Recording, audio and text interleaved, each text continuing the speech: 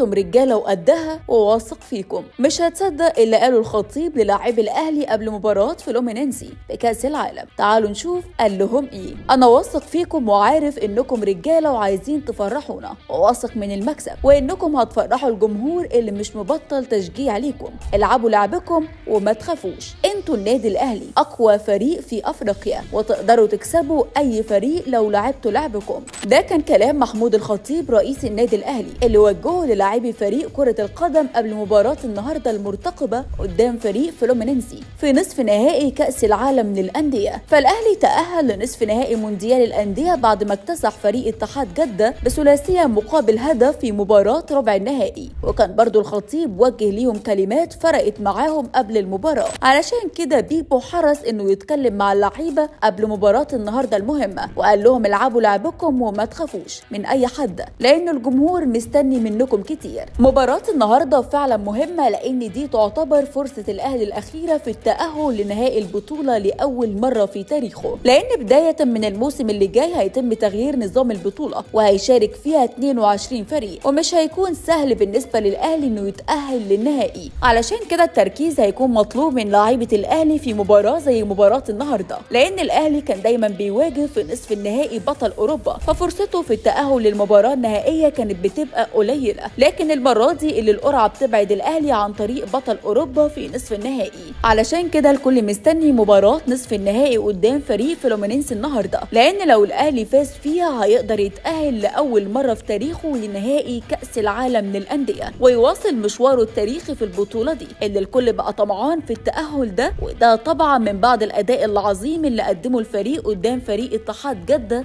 في ربع النهائي. أما لو الأهلي خسر هيكون لسه في قدامه فرصة تحقيق ميدالية رابعة لأنه هيلعب على مباراة تحديد المركز الثالث والرابع. وفي حالة فوزه هيحصد رابع ميدالية برونزية ليه في المونديال علشان يؤكد رقمه المسجل باسم كونه أكتر نادي عربي وإفريقي ما حقق ميداليات في المونديال. بس الجمهور نفسه طبعا إن لون الميدالية يتغير ويلعب على الذهب أو الفضة علشان يقابل فريق مانشستر سيتي في المباراة النهائية. كل دي اماني وطموحات لاعبي وجمهور النادي الأهلي قبل مباراة النهارده اللي هيتأكد من بعد نهايتها إذا كان الفريق هيقدر يفوز ويتأهل للنهائي للمرة الأولى في تاريخه ولا هيواجه شبح الخسارة ويلعب على برونزية جديدة. طبعا الجمهور نفسه في سيناريو خيالي يؤهل الأهلي من خلاله للمباراة النهائية ونفسه إن الفريق يقدم أداء مميز زي الأداء اللي قدمه قدام فريق اتحاد جدة في مباراة ربع النهائي. وده لأن لو الفريق تأهل ده هيعود بفايده كبيرة سواء من الناحية المادية أو الناحية النفسية. وكمان الجمهور هيهدى على الجهاز الفني ومش هيوجه له أي انتقادات خلال الفترة اللي جاية علشان مباراة النهارده